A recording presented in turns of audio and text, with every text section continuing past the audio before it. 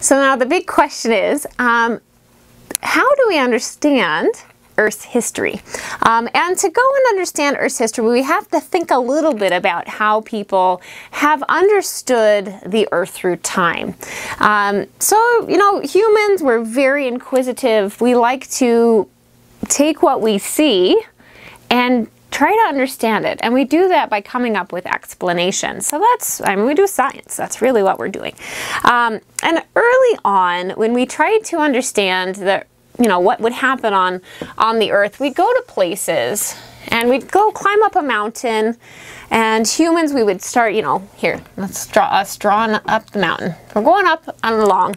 And eventually we get to the top. And at the very top, we find these little things. And when we go and we look at it, we find fossils. Fossils at the tippity top of a mountain.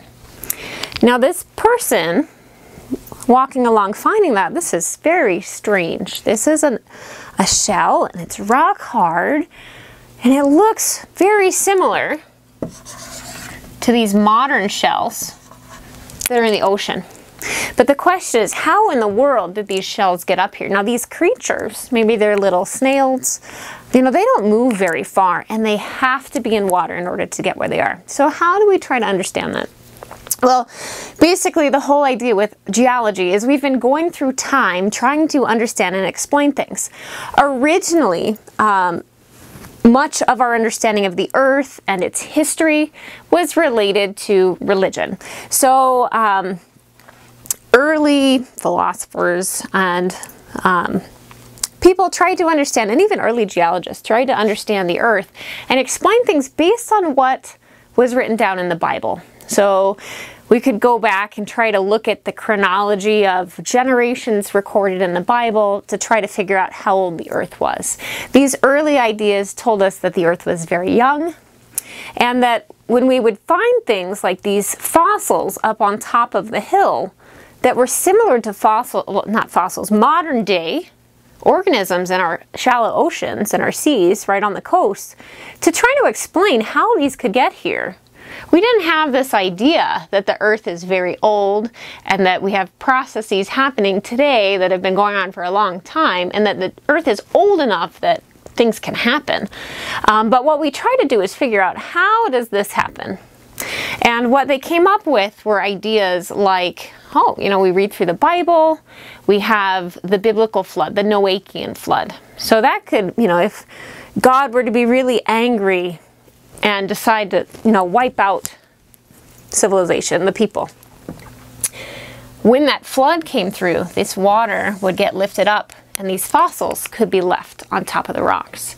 So this idea what happened, our kind of our early understanding of the earth, was that the landscape that we see, the canyons, this whole thing, these were formed by catastrophic events. And it's this idea that kind of led to this thing called catastrophism. Let me make sure I spell it correctly. Okay, and so this is the idea that the earth is shaped by catastrophic events.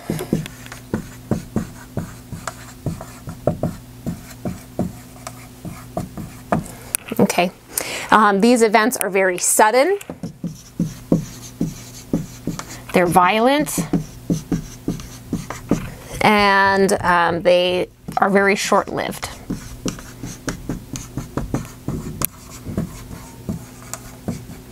Okay, and so when you're trying to remember it, um, this would be like that biblical flood. So basically, um, people who fall into this field are really trying to make all the observations that they see on the earth fit into what is explained in the Bible. All right, so this is not what geologists believe today, and even for a long time. So over time, you know, people continue to make observations. They find fossils and they started looking at the landscapes and making observations of the rocks and then saying, oh, this rock is found here. When I look at this rock unit, it always has these fossils, and above it is this rock unit that always has these fossils. And you'd find the same order or succession of rocks in one place and another.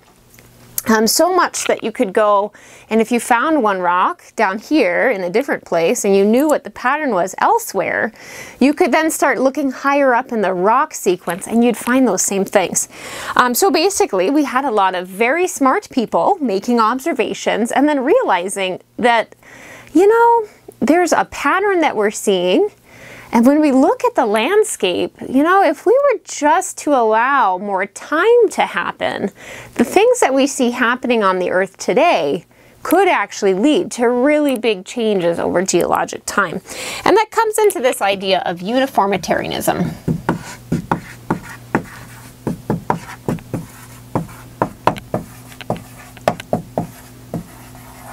Okay, this was an idea that was first proposed by James Hutton. In that's an N in the 1700s, um, and he's the father of father of modern day geology. And so basically, he went down and said, Hutton said that all of the processes that we see happening on Earth today have been happening at the same rates for all of geologic time. And that given enough geologic time, these processes, which happen very gradually, can accumulate and make very large changes over time. Um, so that includes our streams, water flowing over the landscape, can erode rocks, can pick up and transport sediment and deposit it later. With enough time, we can deposit enough sediment to then create different rock units. Um, we can also um, have weathering shape landscapes and all of this stuff. So this whole idea um, kind of is best summarized by Charles Lyell, um, who came along later in like 1830, and he liked to say, the present is the key to the past. All right, I think it's a great phrase.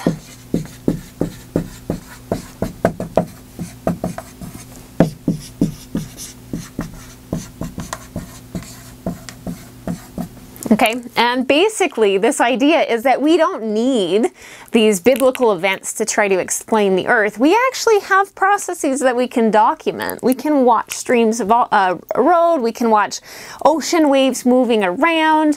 Um, today we can go and actually calculate the plate mov movements.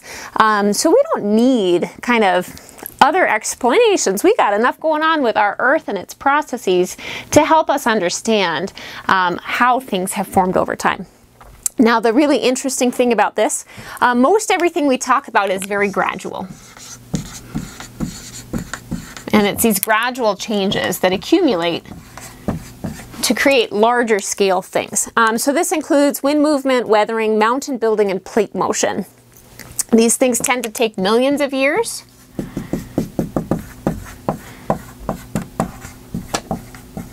And that gets into the idea of geologic time. So uh, something again that's often very hard for us to imagine because it's so big because we don't live all that long. Um, but anyway, we can see those changes over millions of years based on this idea. Now, I just want to point out that uniformitarianism doesn't ignore the fact that we do occasionally have catastrophic events. So catastrophic or uh, sudden events, we'll just call them sudden events.